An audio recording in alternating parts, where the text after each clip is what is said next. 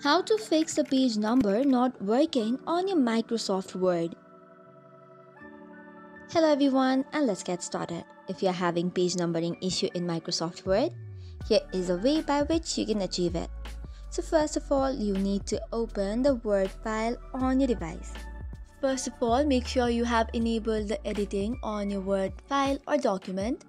After that, go to the Insert tab once you go to the Insert tab, you must search for page numbering or page numbers drop down menu. It is present on the right side of the screen. Click on the drop down menu and click on Format Page Numbers. This should probably work.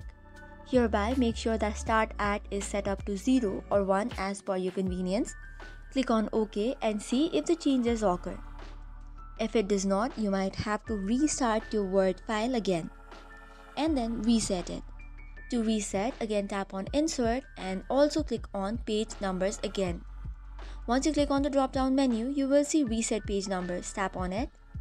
Now we have to set it up the page number again.